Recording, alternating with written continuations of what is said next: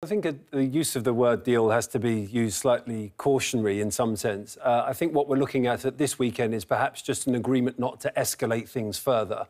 Uh, and should we get an agreement like that, and should we get a, uh, a kind of higher level approach that, that aligns with that, emerging market debt should feel more comfortable to investors. Recently, there's been a concern about global growth downside being very worrying and concerning for investors. But this, if we get that agreement, takes away some of those downside concerns in the relatively short term. So, for fixed income investors in emerging uh, markets, developing uh, economies, how should they now allocate their portfolios exactly? Give us some uh, advice. Well, this is certainly, in our opinion, becoming an increasingly positive fixed income world. We do have a backdrop of uncertain global growth still. And in that environment, fixed income assets should do well. In that context, emerging market debt has done well this year. But particularly, we're finding investors are favouring hard currency assets over local currency. Returns this year have been well aligned with that expectation. So it's slightly more defensive in the hard currency space than local currency. But we're certainly recommending investors continue to allocate in that way at this juncture, awaiting further developments around trade and global growth. So why are local currency, uh, you know, bond uh, yields uh, not so attractive at this point? Well, certainly from a longer term valuation perspective, local currency is a more compelling asset class in our opinion. But in the environment we're in today, where there is still some uncertainty about growth, potentially conversations about end of cycle in the US as well, typically that's an environment where the US dollar strengthens. We don't think we're going into that environment, but certainly investors have been more concerned about it. And local currency is more volatile than hard currency. So the more defensive starting point is hard currency for many investors, including ourselves. So with uh, global central banks, right, the Fed and ECB and SNB really keeping their rates uh, on hold right now, um, what does that mean for uh, emerging market debt investors? Well, again, it's another positive step. Um, I think we have to be again careful that central bank cutting rates aggressively because global growth is really deteriorating would be a concern for emerging market debt. But at this juncture, it looks more like insurance cuts from the Fed. We think we'll get maybe one or two cuts from the Federal Reserve in coming months. Uh, China stand by ready to add more stimulus if necessary. And again, that should ultimately be a positive for emerging market assets uh, in the medium to long term. So, in this uh, context, what kind of returns can uh, investors expect?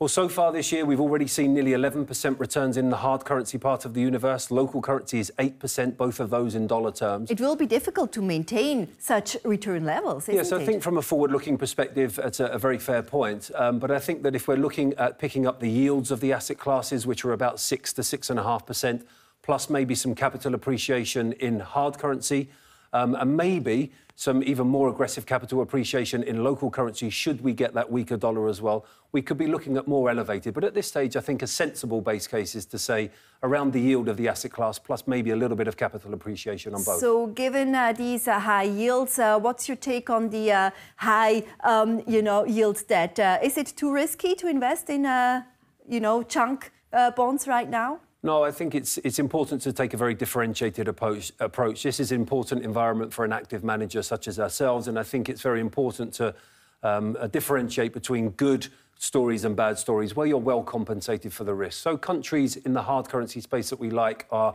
countries such as Ukraine or uh, or Ghana uh, or Kenya.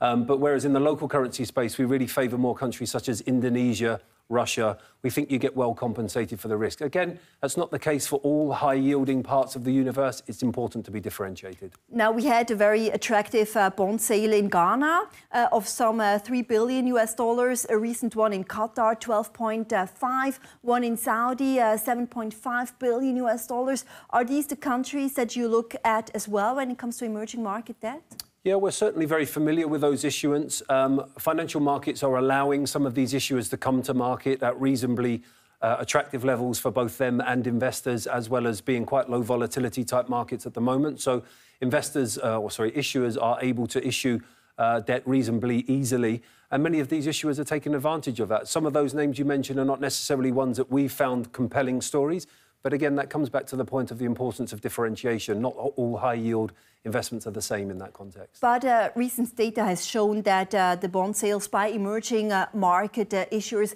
have fallen by some 15% in the first uh, three months of the year. Um, so, where should new issuance come from? Well, again, it would be very difficult to be uh, generic in a response to that. It would be different for different regions and different parts of the asset class. As you mentioned, some of the, the Middle Eastern countries and some of the African countries are using this opportunity to issue. We don't, we kind of expect that to continue. But a more kind of structural perspective, there are certainly countries that have issued early this year. Um, and there are some that are still waiting for financial conditions to evolve through the course of this year. So quite difficult to be too generic, but it's more uh, specific in region and country is the way that we focus on that. And then, of course, uh, the global, uh, you know, recession fears and uh, maybe a fresh uh, financial crisis in Turkey is uh, further denting appetite as well, right? Well, Turkey again is is important to differentiate. I mean, certainly when I talk about some of the higher yielding, yielding countries that we do like, Turkey is not one of those. We see Turkey as deteriorating from a fundamental perspective. Uh, clearly, today has represented a day when Turkish assets are performing quite well on the back of the Istanbul election result yesterday. Um, but we don't see that being sustained, and we don't think that this addresses any of the underlying fundamental concerns in Turkey, uh, and therefore that would be a position that we would be typically running as an underweight in our portfolios at this juncture. For a uh, Swiss investor here, uh, would you prefer government debt or corporate debt uh, in emerging markets at this point? It's a great question because we get asked about corporate debt quite a lot, and the perception of it is, is, that it's quite risky and quite uncertain. But it is a very, very diversified universe and actually has some very good defensive characteristics. So, dependent on the appetite of the investor, you know, if they wanted to be very aggressive, perhaps they would look at local currency.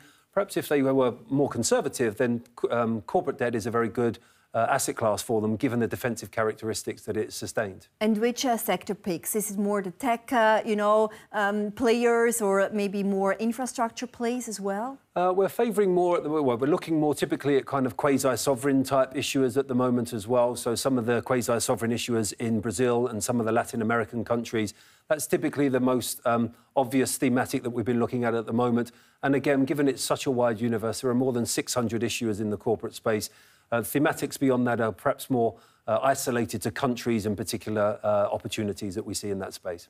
Now, what kind of hedging strategies would you adopt when it comes to, you know, emerging market debt? Because a lot of international investors might not be so familiar with uh, these specific individual countries. Mm.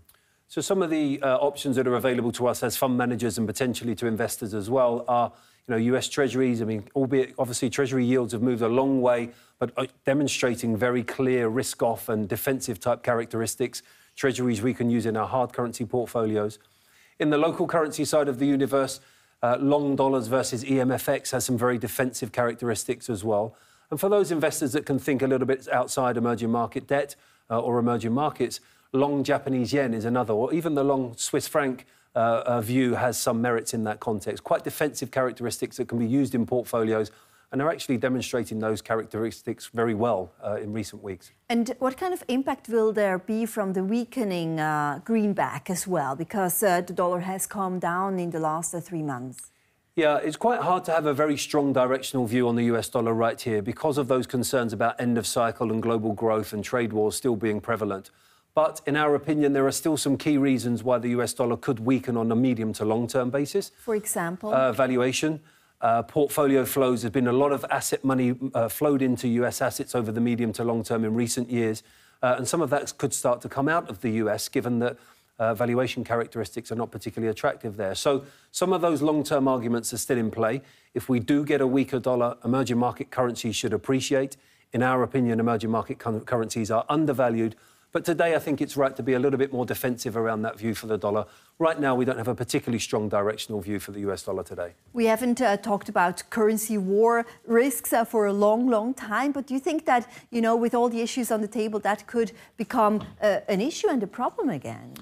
I don't think it will become a problem in the way that it was discussed in past years, but I think what we are seeing is bilateral trade agreements that are being made primarily by the US with other countries are, are often having currency clauses embedded into them, which is quite an interesting dynamic. I don't think that takes us to a currency war type dynamic, but it maybe gives us some uh, a new framework to think about currencies in the future. I'm not saying that we're there today, but maybe that's an interesting development that we need to be aware of in the future.